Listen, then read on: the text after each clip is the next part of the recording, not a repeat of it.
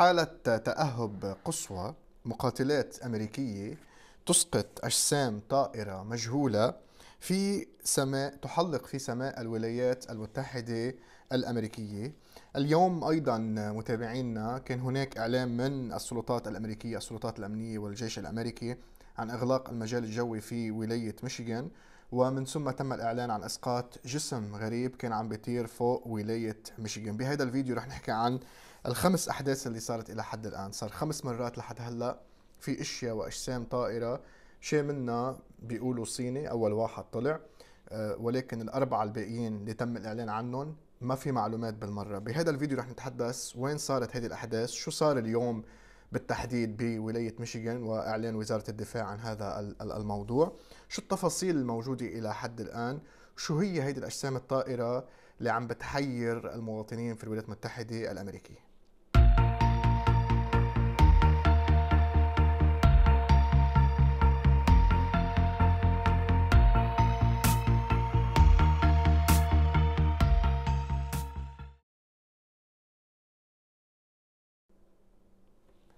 تحياتنا لكم متابعينا ومشاهدينا من قناة الأخبار معكم حسين هاشم وحلقة جديدة ومباشرة وخاصة من برنامج شو فيما فينا نستعرض من خلالها الأجسام الطائرة المجهولة اللي عم بيتم الإعلان عنها في أكثر من منطقة بالولايات المتحدة الأمريكية وكندا. وآخر هيدي الأحداث كانت عم بتكون اليوم في آه، ولاية آه، ميشيغان آه، فوق بحيرة هيورن بولاية ميشيغان اللي هي على الحدود بين ميشيغان وكندا بهيدي الحلقة بشكل سريع بدنا نحكي عن شو عم بيصير بدنا نفسر وين صارت الأحداث والمعلومات اللي أعطونا إياها أو اللي تم الإعلان عنها من الحكومة الأمريكية إلى حد الآن. فخلينا نحكي بشكل عام منذ إسقاط البالون الصيني اللي هي وزارة الدفاع الأمريكية كانت عم تقول بالون تجسس آه، صار في أربع أحداث مختلفة صارت. يعني صار في إسقاط لجسم طائر فوق ولاية ألاسكا بمونتانا أعلن الجيش الأمريكي إنه لاقوا شيء وبعدين قالوا لا هلأ بنقول لكم شو صار بهذا الموضوع. آه، أيضا تم الإعلان امبارح نهار السبت عن إسقاط جسم طائر آه، من القوات الأمريكية والكندية فوق كندا. واليوم هلأ قبل شوي تم إسقاط جسم طائر آخر فوق ميشيغان. فخلينا نبلش بميشيغان. نهار الأحد إخواننا اعلنت السلطات الأمريكية عن إغلاق المجال الجوي في ولاية ميشيغان آه، خاصة فوق بحيرة هيوران. لفترة وجيزة ورجعت فتحتها.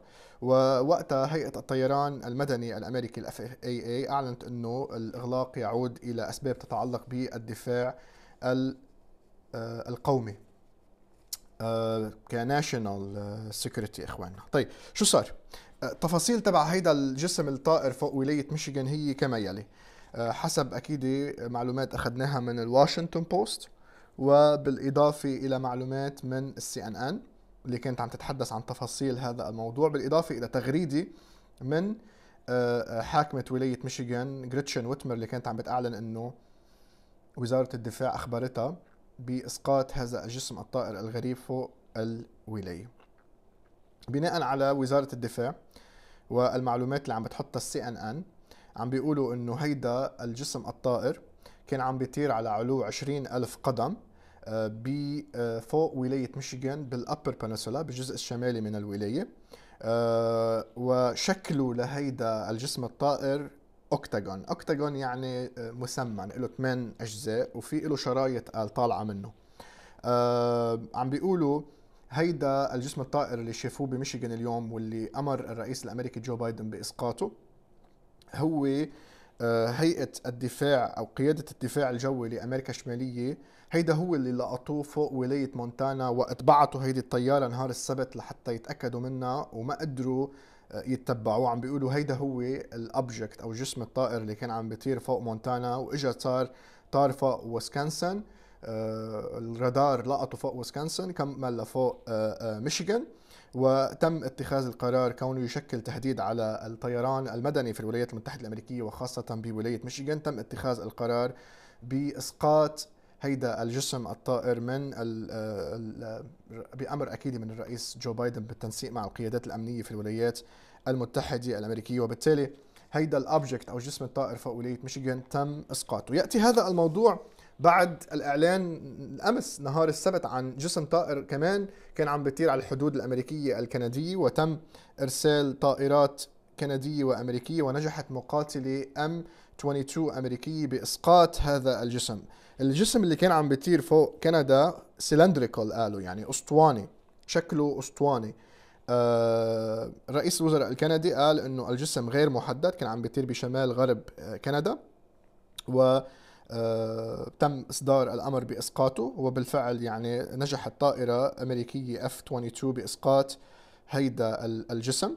آه، تحاول القوات الكندية انه إنه تشيل الحطام تبع هيدا الجسم المجهول الهويه حسب زعم رئيس الوزراء الكندي جاستن ترودو اللي قال إنه هو نسق مع الرئيس الأمريكي جو بايدن بشأن هذا الموضوع.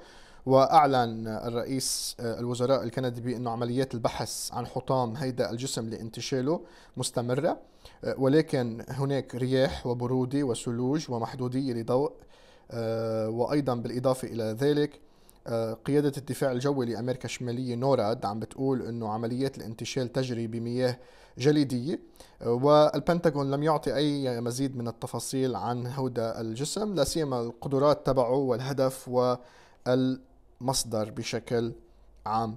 وبالتالي بهودي اليومين سبت وأحد بشكل متسارع عم بتصير هيدي الأحداث إخواننا. أجسام طائرة غريبة. هناك حالة من التأهب القصوى في الولايات المتحدة الأمريكية لمتابعة هذه الأمور. هناك مطالبة من السياسيين للإدارة الحالية إدارة الرئيس بايدن بإعطاء المزيد من التفاصيل للمواطنين عن هذه الأجسام الط... يعني الأجسام الغريبة الطائرة اللي هو شيء أسطواني شيء مثمن شيء بالون. آه زعيم الأغلبية الديمقراطية في مجلس الشيوخ شاك شومر نهار كان عم بيعمل مقابلة مع ال ABC عم بيقول إنه مسؤولي الأمن القومي الأمريكيين بيعتقدوا إنه الأجسام الطائرة التي أسقطت فوق أمريكا وكندا هي مناطيد حسب زعمه لتشاك شومر. بس ما حسب عم نشوف ال press release اللي عم تطلع شيء منهم octagon شيء منهم cylindrical شيء منهم بالون ولكن عم بيقول إنه بيطمن الشعب الأمريكي على إنه إذا كانت أي مصالح أمريكية بيكون فيها الناس عرضة للخطر فسيتخذون الإجراء المناسب.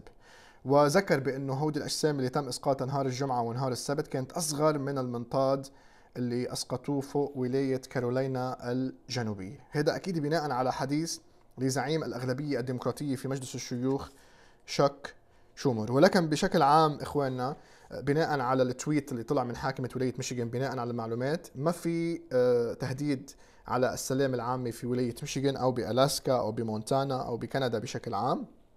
نتيجة هذه الأجسام الطائرة إلى حد الآن. نحن سوف نتابع هذا الموضوع. حبينا بشكل مختصر نطلع فيديو بشكل سريع نعطيكم شو عم بيصير كون إجينا أسئلة كثير عن هذا الموضوع.